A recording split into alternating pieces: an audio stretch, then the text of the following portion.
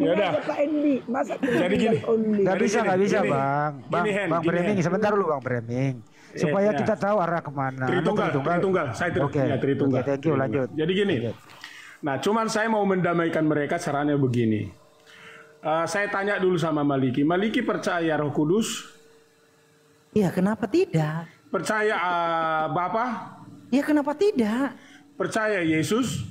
Ya Yesus itulah Bapa, Yesus itulah Roh Kudus. Nah, udah Tritunggal itu, udah Tritunggal itu. Kok Nah, jadi sekarang- tunggal?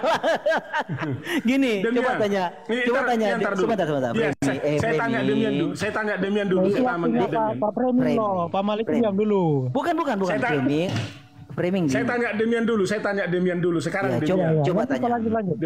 Ya, ya Demian. Eh, Demian percaya Bapak? Percaya. Ah. Eh, definisi Bapak itu yang kamu pahami apa? Bapak adalah sumber dari segala sesuatu. Sumber dari segala sesuatu. Kalau kita Segala sesuatu. mau kalau kita mau mendeskripsikan sumber dari segala sesuatu, kira-kira segala sesuatu itu apa yang kita mau bahasakan tentang segala sesuatu itu? Kalau segala sesuatu ya all in keselamatan Ntar dulu hidup. Maliki, ntar dulu, ntar dulu Maliki, ntar dulu. Saya dengan Demian dulu. Kira-kira kalau disebut Bapak adalah sumber dari segala sesuatu, lalu kita mendeskripsikan dia, Bapak yang adalah sumber dari segala sesuatu, dia itu kira-kira apa yang kita sebut? Bapak. Sumber keselamatan, sumber hidup. Ntar dulu Maliki. Ntar dulu Maliki. Apa? Ya, eh, maha kuasa. Maha kuasa. Kemudian Pencipta. Pencipta. Ah, Bapak pencipta, oke good. Ba Oke, Maha Bapak, kuasa. Bapak mencipta lewat firman-Nya. Ya, ntar satu-satu dulu. Maha kuasa, ya setuju. Pencipta, ya setuju. Nah, sekarang kita masuk yang tadi kamu katakan. Bapak mencipta melalui apa? Firman-Nya. Bukan melalui, Bapak kerjasama dengan firman, bukan melalui. Salah, di dalam Alkitab mengatakan melalui. Ntar dulu. ah, Si Maliki ini ngagu-ngagu Mazmur dulu. 33, Mazmur 33, Diam dulu Maliki, Mazmur diam dulu. 33 ayat 6, Tuhan menciptakan melalui lewat firman-Nya. Bukan bekerja sama, salah itu. Lah, firman, firman itu kan bukan Bapak. Nggak, Iya melalui, melalui. Anda Iya, ngerti melalui? iya, firman kan bukan tar Bapak kan? dulu Maliki, tar dulu Maliki, biar nanti tambah-tambahin dikit-dikit aja. Saya, saya, ntar saya biar biar kita masuk kepada. Ya, oke, eh, oke. eh, Nah, biar lanjut. terminologinya dulu, terminologi supaya kita. Tambah seru ini. Iya, iya. Oke, saya minta sama Demian, kalau Allah itu mencipta melalui Firman atau eh, kerjasama dengan Firman. Lebih tepatnya melalui, Pak. Tidak dibilang Melalui, Iya. melalui ya. Oke, saya lebih tepat. Tanya, tanya, firman itu Bapak atau bukan? Cet- Tanya itu. Tar dulu, ah kamu jangan terlalu jauh, tar dulu. Nah sekarang begini, kalau melalui, melalui ya berarti bedakah uh, pencipta ini Allah Bapa ini dengan melalui firman itu? Beda nggak dia Allah pencipta ini dengan melalui firman itu? Kalau Allah nggak beda, Pak. Tapi Tapi kalau sama. Bapak dan firman, ya gini, kalau firman itu Bapak sendiri kan nggak mungkin ada kata melalui. Nah terus? Iya, karena ada kata melalui, maka firman itu bisa ibaratnya begini, kita manusia, kita punya tangan, kita menciptakan melalui tangan kita, kan seperti itu. Ah, yang yang yang saya coba minta lebih dalam lagi pemahaman Bang Demian kalau Allah menciptakan itu melalui firman itu maksudnya seperti tangan tadi gitu.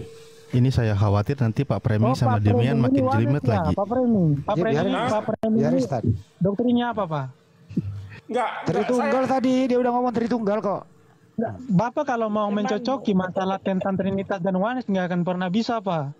Enggak, enggak saya saya kita sedang membangun terminologi dulu. Oh, udah, Nah, saya dulu tanggapi Pak Framing. Kalau Bapak itu nggak nggak nggak bisa Biar dulu Her, biar dulu Her, biar ada kita Biar tahu dulu, Herdi. mau ke mana ini. Jadi gini, Ya. kalau kalau ba- kalau Bapak bilang Bapak menciptakan melalui firman itu, kata melalui itu yang Bapak maksud seperti apa? Karena kalau saya menjelaskan kata melalui, saya lebih deskripsinya kepada Yohanes 1 ayat 1.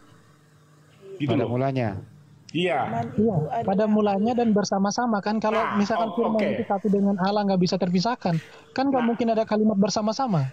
Nah, kita masuk lagi lebih spesifik kata pada mulanya ya kita paham. Nah, kalau saya mengkaji kata pada mulanya itu bahwa yang kita pahami tadi Bapak sang sumber, yang kita pahami Bapak itu pencipta, maka pencipta ini melalui firman terlepaslah tadi uh, ada konsep melalui ini, melalui demian ada dan melalui saya ada. Nah, saya mau jelaskan melalui saya dulu bahwa di dalam Bapa itu, di dalam Allah pencipta itu ada uh, ada pemikiran, ada rancangan, ada kehendak yang tak terpisahkan dengan Dia. Kehendak dan pemikiran inilah yang menciptakan yang ada itu tercipta. Artinya kalau saya boleh katakan antara Bapa dengan pemikirannya ini yang menciptakan yang ada itu adalah satu kesatuan. Nah, satu kesatuan tuh kau dengar tuh Herdi. Satu kesatuan. Art- satu kesatuan dalam arti gini bahwa dia melekat dengan Bapa itu ada pada Bapa itu. Iya, Oke, Pak. udah, udah, udah, udah. Satu udah. Gini. kesatuan tuh Herdi, dengar tuh. Oke, udah. Oke, kita saya kasih bantah. kesempatan Herdi dulu ya. Saya Silakan. bantah ya. Ya, silakan silakan. Gini, gini, gini, gini. Saya saya melihat ini banyak orang Indonesia yang berbahasa dalam hal ini kawan-kawan Tritunggal yang berbahasa mengucapkan suatu kosakata yang tidak dia mengerti. Kesatuan definisinya itu terdiri dari itu kesatuan ya. Kesatuan definisinya itu terdiri dari. Jadi kalau you percaya Allah itu adalah roh, berarti Allah yang adalah roh itu, roh itu punya jenis, punya varian. Artinya roh Bapa begini, roh anak begini, roh kudus begini. Itu konsekuensi dari kosakata kesatuan. Jadi harus belajar apa itu kosakata. Ya, itu pertama. Kedua, Ya, Alkitab kan tidak pernah berkata itu kalau eh, kalian nggak tahu tentang roh, roh, roh itu jamaknya ruham, ruh hakim itu jamak, ya. Tapi tidak pernah disematkan kepada Tuhan, ya. Kepada Tuhan tidak pernah di- disematkan ruh hakim, ruham itu tidak pernah. Ruhi, ruah itu singular semua. Jadi eh, jangan membuat suatu eh, teologi yang berbasis eh, analisis halusinasi. Jangan. Ya, Alkitab tidak pernah berkata Allah yang adalah roh itu punya jenis dan varian, kagak ada. Jadi gini,